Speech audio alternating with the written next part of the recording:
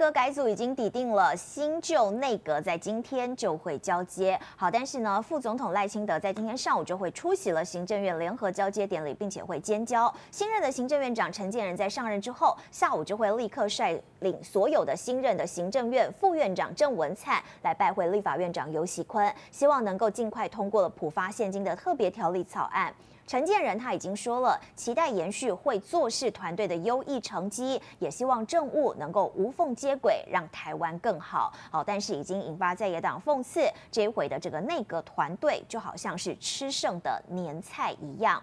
当然呢，我们来看到的是苏贞昌，其实他创下的是这个一千四百七十八天的院长任期，是我国民选总统以来最长的记录。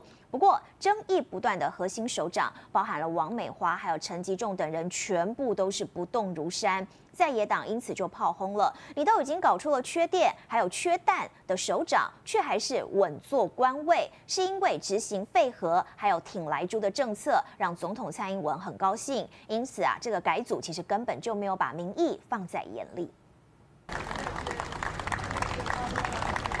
下台一鞠躬，苏贞昌一千四百七十八天的院长任期，创下台湾民选总统以来最长纪录。不过一旁阁员神情看似轻松，因为大多核心首长不动如山。蔡英文嫡系亲信陈建仁还有郑文灿接掌政府阁魁外，这回内阁改组一共十位部长级职务，只有三人是新面孔，包括内政部长林佑昌以及文化部、财政部长都换人做，但先前正义部长几乎全数留任，搞出缺电的王美花继续管经济部，搞出缺蛋的陈吉仲继续农业，任内断交八国的吴钊燮留任拼外交，护高端的薛瑞元不动如山，哀鸿不愿执行死刑的蔡清祥依旧当法务部最大官，在野党炮轰，难道是因为这些人执？行废和废死，力挺来猪护高端，只要让小英满意，做的再烂都能当大官。王美花也是他的爱将啊，陈其仲是小英男孩啊，蔡英文根本不承认败选，他根本没有把民意当做一回事嘛。为什么会留下来？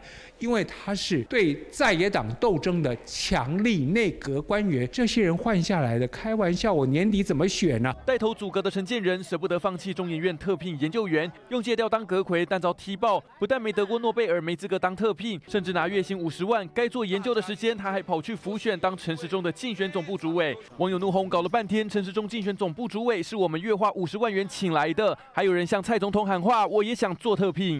我是总统，我要怎么做，我都可以做主。这就是民进党现在政府。陈建仁，你以为他是学者吗？他不是，他就是来捞钱的。这种人，你就是把他当做一个 sales 来看就对了。陈建仁、郑文灿都爆出过抄袭，马英九呛虾，该检讨的人其实是他。不论是院长或副院长。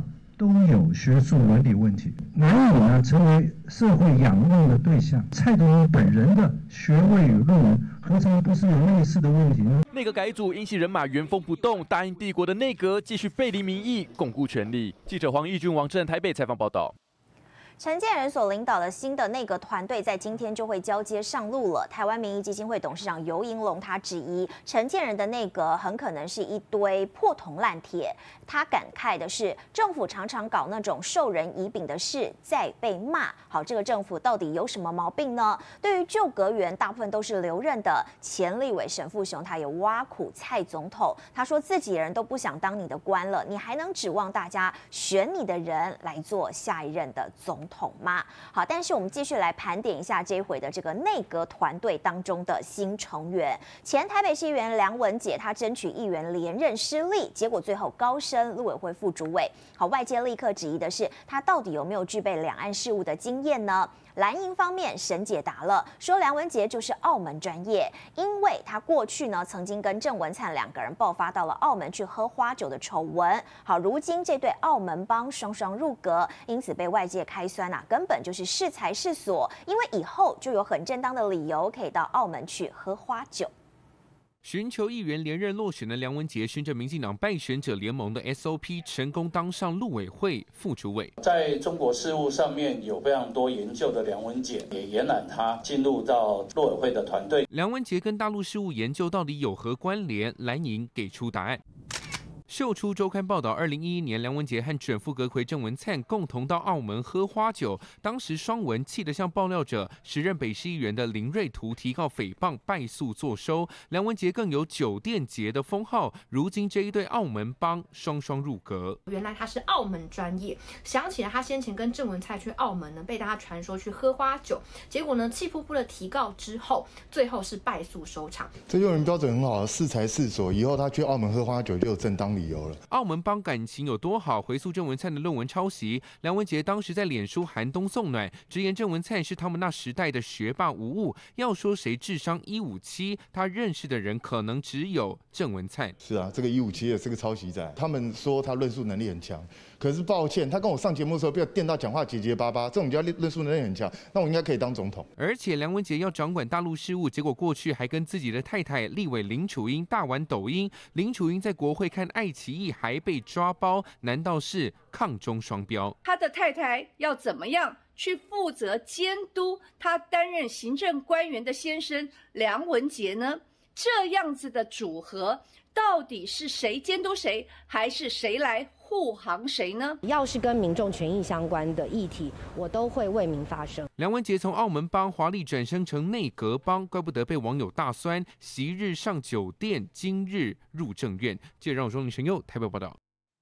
好，内阁改组大部分阁员都是留任的，因此外界就说这根本就是换汤不换药。前立委郭正亮开酸了，从大苏酸辣汤换成大人哥的甜汤，而多数仇恨值原本比较高的阁员都根本就没有被换掉。郭正亮分析，这是因为蔡英文跟美国方面的考量。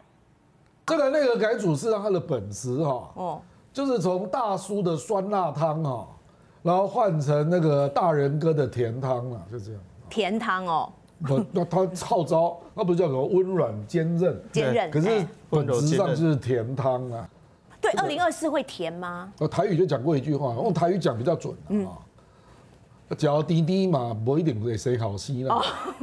问题在这里呀，他的问题就在于啊，我觉得这个内阁的本质，事实上到最后大家看到的就是换院长跟副院长，嗯，对不对？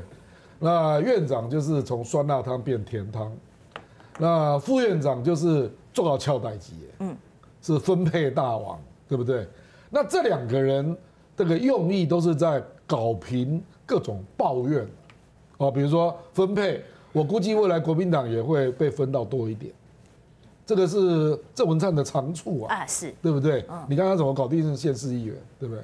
啊，所以我我估计未来，因为毕竟国民党现在县市长这么多，你一定要分配要有一点道理吧。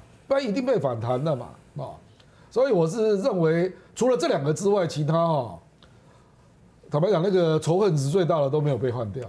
我觉得到最后真的给人家感觉哦，就是我们觉得一定要换的那些人，为什么都没动啊？呃，我觉得大概只有两种因素了，一个就是小英的考虑，嗯，就这个是我的人，嗯，那一下要找到这么听话，后来主动跟我报告的人，真的不不多了，嗯。那第二个，我认为是美国了，啊，美国？最明显的就是吴钊燮，嗯，因为美国要萧美琴，嗯，所以吴钊燮被退货，对，真的是这样。我认为美国就是跟萧美琴互动非常的进入状况，啊，不过这个也会造成赖清德的另外一个变数啊，因为萧美琴会不会离不开？好，这一回在内阁改组名单当中呢，有人说最让大家感到意外的就是屏东县的前县长潘孟安跟国安会秘书长顾立雄，竟然没有在入阁的名单当中。好，对此前立委郭正亮说了，现在是设定工具人的角色，剩下的一年其实都是以选举为主。接下来我们继续来看到这个内阁改组哦，已经大致底定了，但是前立委沈富雄直接开酸了，他说新的内阁除了正副阁魁之外。只有六位新人，原本必须要为败选负责的，还有重新整军的、蓄势待发的，都全部是同一批人马。因此他猛酸了蔡英文，就好像清末的宣统皇帝，感叹万万没想到一个全面执政、盛极一时的民进党，可以一路衰败到如此田地。当然，沈富雄的这个言论也立刻引发。大家的讨论。里面呢，全天候现在都是使用旺旺水神抗菌液，它的成分呢是维酸性电解次氯酸水，跟病毒细菌作用之后呢，会还原成水，不会残留，而且呢没有污染，儿童、孕妇呢都是很适用的。哪里可以买到水神生成机呢？就是上我们的快点购。